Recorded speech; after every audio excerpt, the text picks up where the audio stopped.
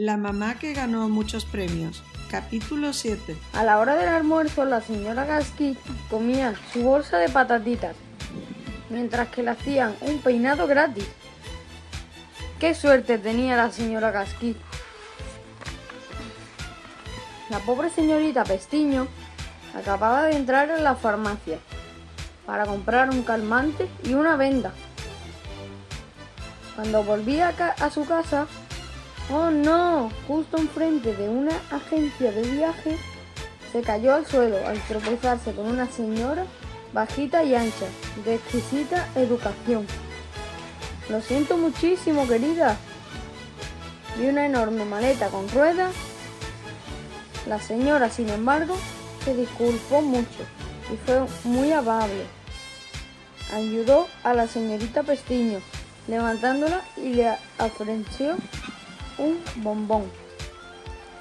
Lo siento muchísimo, querida.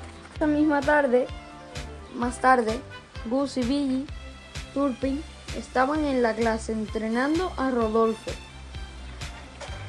Gloria y Trace y Aldro estaban pintando un cartel para un, para un concurso de adivinar cuánto pesa el pastel.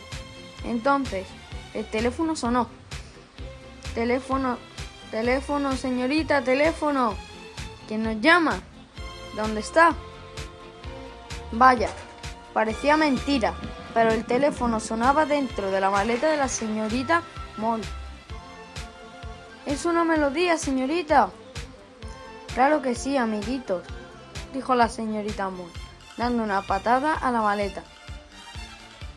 Yo sé qué melodía es, señorita. Y yo también. Es igualita que la del teléfono del señor Pillo. Sí.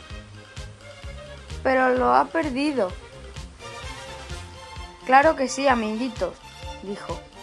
La señorita Moll, mientras daba otra patada a la maleta, yo la ayudaré a buscarlo. Gus y Gloria y otros niños cruzaban sus miradas. Aquí estaba pasando algo raro. ¿Por qué la señorita Moll no abría la maleta?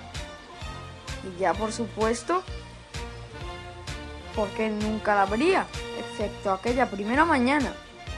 De repente toda la clase se llenó de sospechas.